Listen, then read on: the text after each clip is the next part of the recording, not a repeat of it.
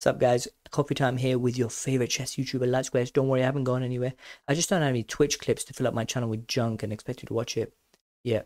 And so in this video, I'm going to ask one of the most important questions of all time in all walks of life, which is in fast time controls, should you be playing losing gambits instead of the major openings? Let's put that question up on the screen. In fast time controls, key point, we're not talking about classical chess, we're talking about blitz, rapid, faster stuff. Should you be playing losing gambits instead of the major openings. And so on the surface, it just sounds like a hell no. Losing gambits are losing beyond a certain rating threshold. You're just going to meet skilled players, people who know the refutation lines. You're just going to lose games, throw away elo. However, when you dive into the statistics, and I'm going to use my favorite thing in the whole wide world, you know what that is, the Lichess database, which has billions of games. You notice that the answer to this question is not so clear. And perhaps all of us amateurs out there should be open to the idea of playing dubious flaky gambits instead of the rock solid conventional openings. Okay, so let's be clear about what we mean by major openings and losing gambits. And so major openings is obviously something that steeped in history, played over and over again by grandmasters, approved of by the engine. And so, for example, something like the Queen's Gambit decline, which is on your screen right now. How do we get here? We have d4, d5, c4, Queen's Gambit, and now e6 makes it the Queen's Gambit decline. Alternatively, another major opening in this position is for black to play this move c6, which is known as the Slav defense. Okay, and this is all happening after just two moves. If you want to avoid the major openings altogether after d4, you could just play this move e5, which is known as the Englund Gambit. And now white is in a completely winning position. It's about plus one, plus two on the engine. White can go up a pawn and defend it. And we have d takes e5. And here the second move for black can be one of two major lines here, which is to play this move bishop c5 or play knight c6. So in either of these cases, black is losing. However, black is hoping for some trickery. So for example, in this position, we have knight to f3, d6, e takes d6, knight to e7, which is a trap. And now we have takes, and white is lost because of bishop takes f2, king takes f2, and now queen takes queen. Alternatively, in the two knight c6 lines in the Englund Gambit, what black is hoping for is that after knight f3, queen e7, bishop f4, queen b4 check, the bishop is hanging. We have bishop d2, queen takes b2, and now black is hoping that white is going to play this move, bishop to c3. White is lost because of bishop b4. There's no way to defend against this position. Let's say we have bishop takes b4, knight takes b4. There is a double attack here on this c2 pawn, and white is just completely losing. And so on the surface, it just sounds like the first two openings that I showed you. For example, the Queen's Gambit Decline or the Slav Defense are just completely rock solid and sound, and so therefore should be much better than the Englund Gambit, even in faster time controls. However, when you look at the statistics around this in the Lichess database, you simply don't get that picture. Okay, so I put this table together using the Lichess database. It shows the Lichess win rates for black in the openings I described above. So we have two tables here. One is for rapid chess, one is for blitz chess. And so we have here QGD, Queen's Gambit decline, Slav, Englund Gambit, two bishop c5 lines, and Englund Gambit, two knight c6 line.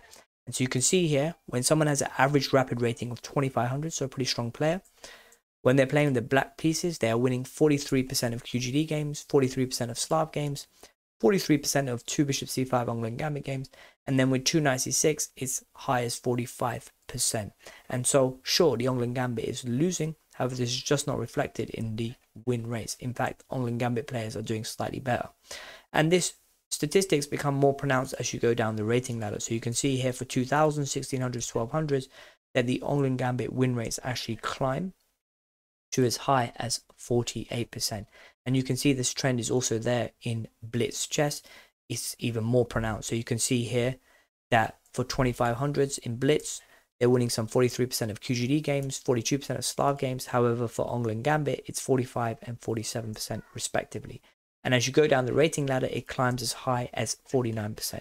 So sure, Englund Gambit is losing, the engines hate it. However, there are just enough people out there who don't know the refutation lines, who get themselves into a losing position with the white pieces. And so there are plenty of wins here for people with the black pieces. Okay, so you might think this is your license to go ahead and play gambits, but you have to be careful. Some gambits are not going to be effective, and in fact, playing conventional openings over some of these gambits is much better. Let me give you an example of this. So on the screen right now, we have the Blackmar-Diemar gambit. And so this is achieved after say d4, d5, and now this move e4. Black is in a winning position. white is just giving away a pawn.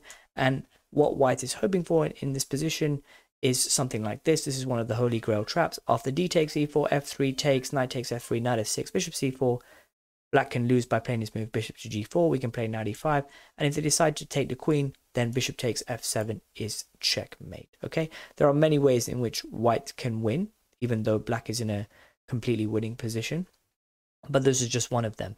And so instead of playing the Blackmar-Diemar gambit, in the second move, you could just go with the conventional approach, which is to play c4, the Queen's Gambit, or you could play the London system, both rock solid approaches. And so if we put statistics up on the screen for that, you can see here that actually going with the conventional openings, go with the rock solid stuff, QG or London system, has much higher win rates than if you played the Blackmar Diemar Gambit. And so you have to be careful about the gambits that you employ. Hey, you know what question is even more important than the one we're asking today?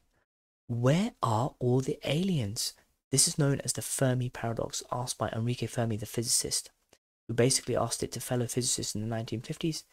And he basically asked, given the vastness of space, why is there no conclusive evidence of extraterrestrial beings? Good question. And so there are many solutions to this problem.